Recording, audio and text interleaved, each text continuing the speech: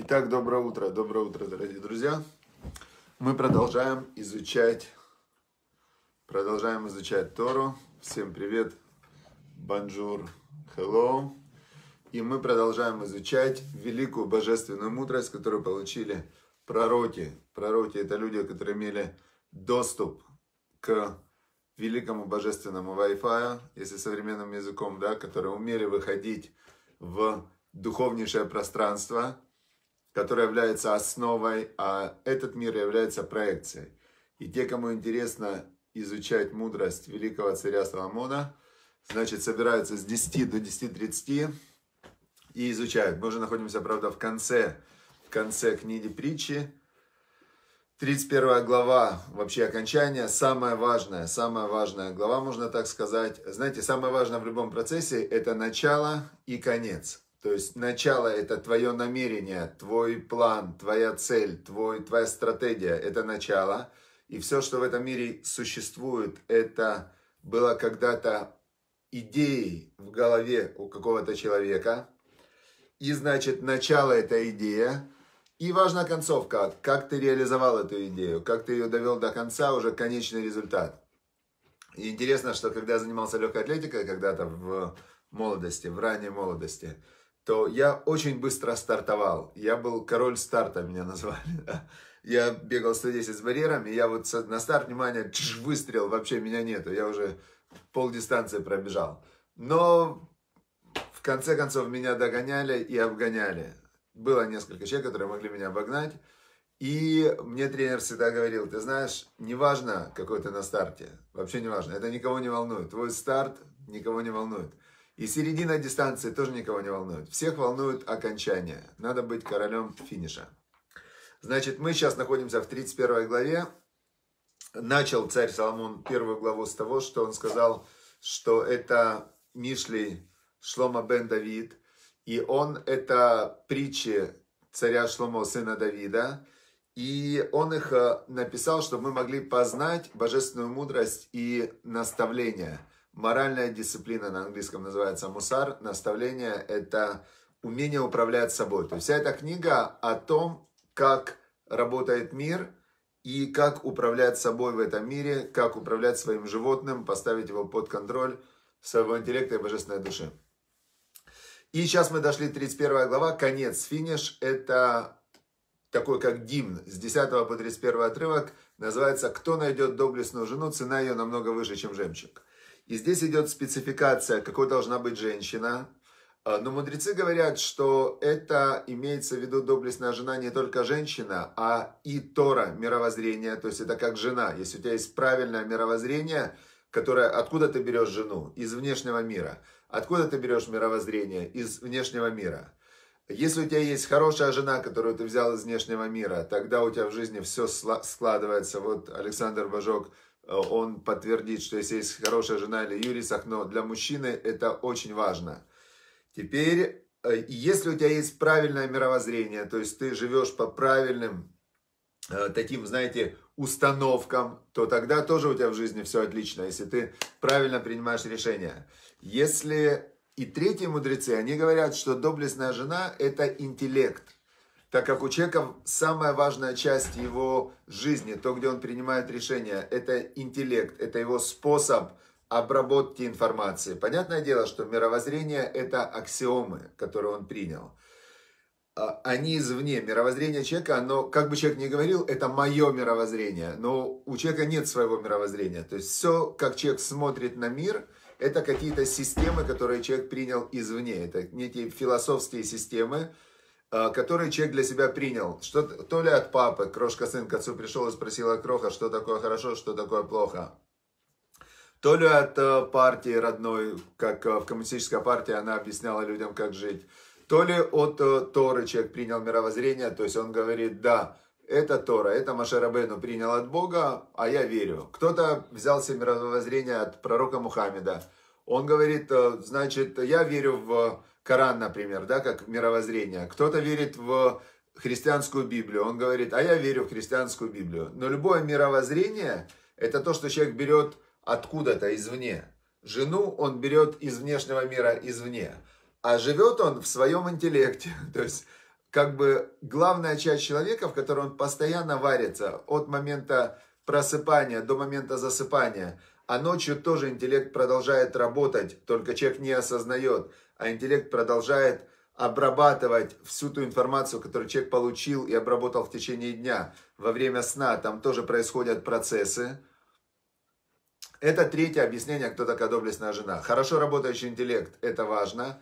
Правильное мировоззрение – это важно. Хорошая жена – это важно. Все, возвращаемся, какой должна быть хорошая жена. Мы уже дошли до 14 отрывка. Значит, в 13 отрывке мы узнали, что она обрабатывает шерсть и лен, и она с охотой работает своими руками, она работящая. То есть она такая, знаете, воодушевленно работает. Есть люди, у меня, слава богу, есть несколько бизнесов, в которых я или владелец, совладелец, э, управляла какими-то бизнесами долгое время. И я знаю, есть люди, которые любят работать. Вот они работящие. А есть люди, которые не любят работать. Вот они просто, у них вся их жизнь съехать с работы. То есть не сделать. Как не сделать, они думают. А другие люди, они не думают, как сделать. Они делают, делают и делают. То есть у них даже нет вопроса, чтобы не сделать, да. Они хотят. Вот жену надо выбирать такую, которая любит работать своими руками, а которая любит работать, а не любит отдыхать. Дальше. 14 отрывок. А это каньет сохер мимерха ктави лахма. Значит, а, будет она как купеческие корабли. Аниот сохер это корабли торговцев. Мимерхак издалека привозит она хлеб свой. Значит, если говорить по-простому, по-простому, то женщина с Бывает женщина с широким кругозором, бывает с узким кругозором. А, женщина с узким кругозором, она видит только то, что у нее перед глазами, и она, а, даже если она что-то продаст или купит, то это все будет вокруг дома. Есть женщина, вот как здесь говорится, 14 отрывок, она подобна купеческим кораблям, и приносит она хлеб свой издалека, она занимается международной торговлей. То есть у нее, у нее такой, как бы, знаете, широкий взгляд на мир, что она понимает, как вообще работает экономика, процессы. И, но ну, не просто понимает. Вот смотрите, а, подобно она купеческим кораблям, то есть а, есть такое понятие, как торговля. И для большинства людей, особенно в бывшем Советском Союзе, это понятие, оно было а, выкорчевано, да, то есть считалось, что продавать, покупать это самый низкий уровень развития человека – торгашество, спекулянты, такие слова были, барыги. То есть очень э, прямо идеология э, бывшего Советского Союза, она лишала человека вот этого предпринимательства и вот этой вот внутреннего желания заработать, купить, продать, э, принести кому-то пользу и так далее. То есть это не было выгодно в Советском Союзе. Люди должны были быть управляемыми, жить на зарплату и ни шаг влево, ни шаг вправо.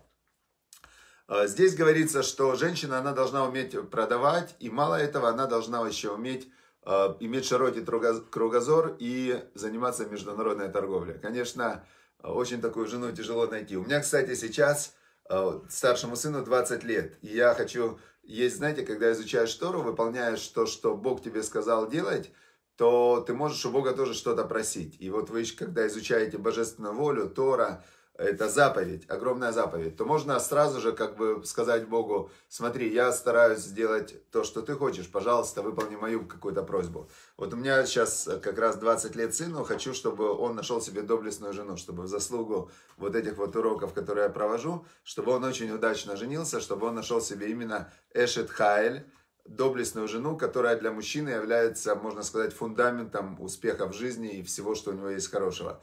Вот, поэтому этот урок пусть будет для удачной женитьбы Элишама, сын Ицхака. Моего сына зовут Элишама, сын Ицхака. 20 лет ему учится в Ешиве, религиозный очень мальчик.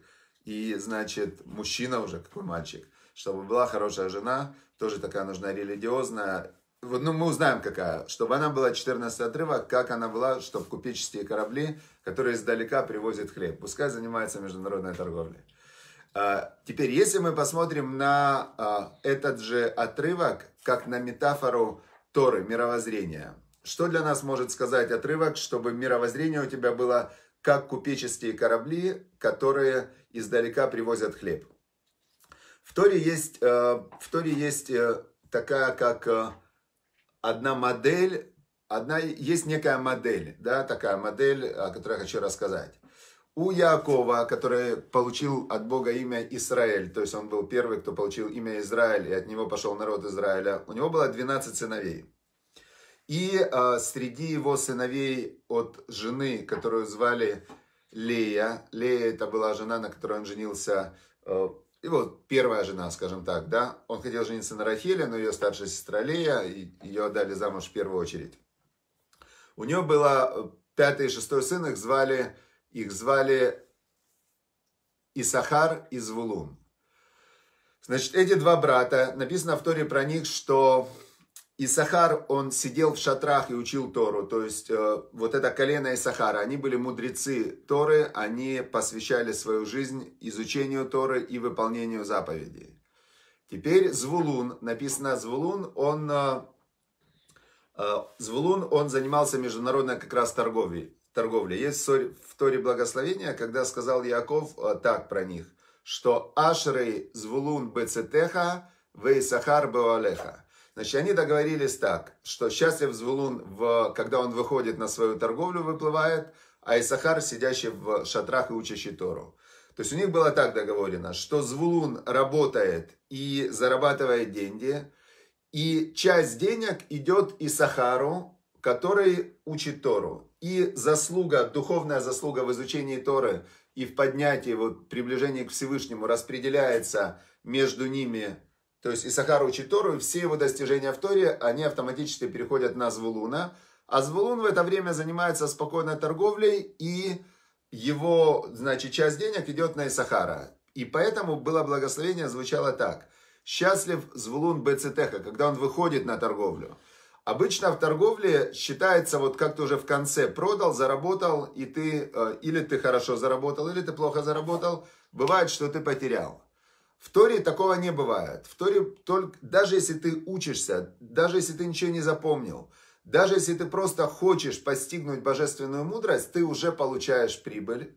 И поэтому Исахар, который сидит в шатрах, он все время получает прибыль. То есть он с утра проснулся, помолился и начинает учить Тору. Опять помолился, опять учит Тору, опять помолился, опять учит Тору. Он в постоянном кайфе и в постоянной прибыли. То есть у него идет духовный рост каждую секунду, независимо от результата.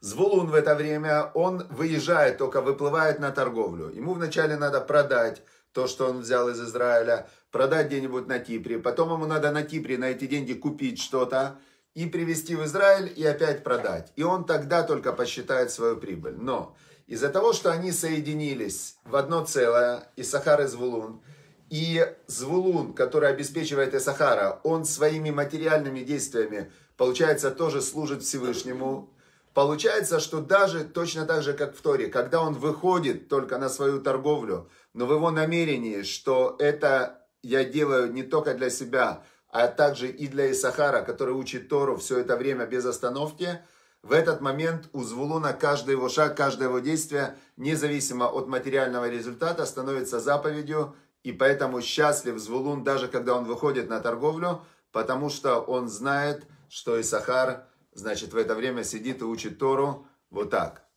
Теперь, а, значит, а, Яков Нода спрашивает, можно ли найти партнера, который будет зарабатывать, а самому изучать Тору. Конечно, можно, Яков. Нужно для этого начать с того, что начать учить Тору, то есть сделать первый шаг, молиться Всевышнему. И а, когда ты учишься, когда ты учишься по-настоящему, и ты ищешь того, за кого ты будешь учиться, молиться, чтобы вместе духовный твой заработок – шел и ему тоже. Конечно, такие люди найдутся.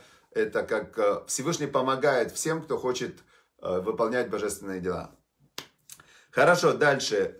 С интеллектом это тоже очень легко применяется. Э, то есть человек, может быть у него интеллект, который видит только детали, может быть интеллект, который видит общую картину. Когда говорится, что жена, интеллект должна быть как купеческие корабли, которые издалека привозят хлеб – это значит, что нужно чуть-чуть посмотреть э, вперед, вдаль. Э, как э, у меня в бизнесе, например, есть некая модель, которая я всегда следовал вот все годы.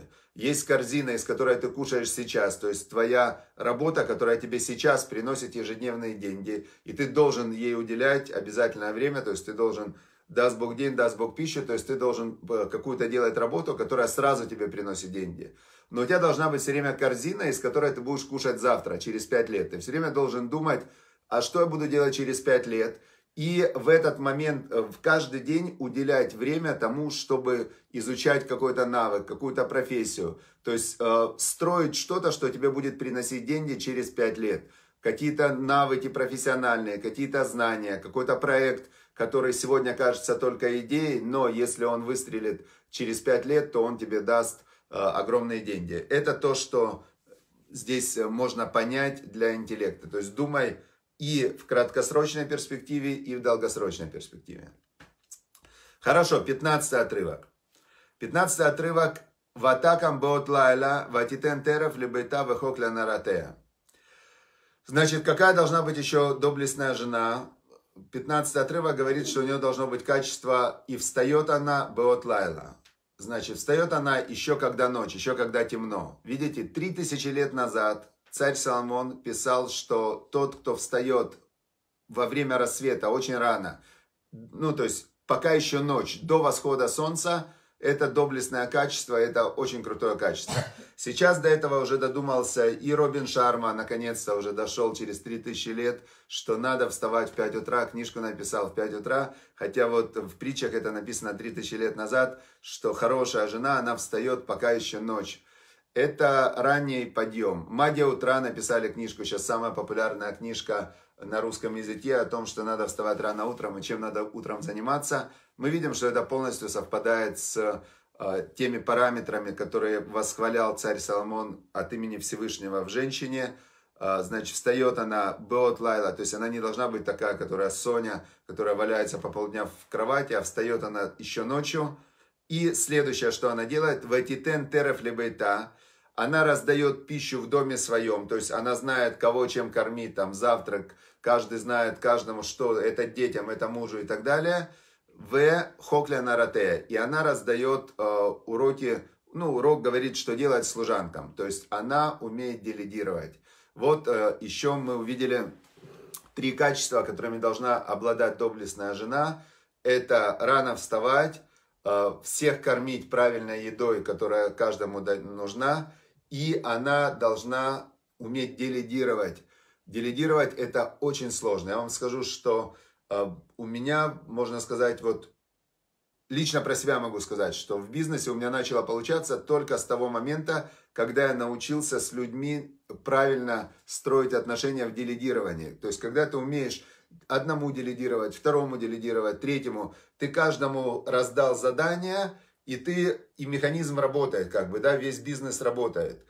Если человек этого не умеет, то он все время будет вынужден сам все делать, сам за всем следить и так далее. То есть это очень важное качество, уметь э, свои, свои какие-то дела де, правильно делегировать тем людям, для кого выполнение этих дел приносит радость, удовольствие, прибыль.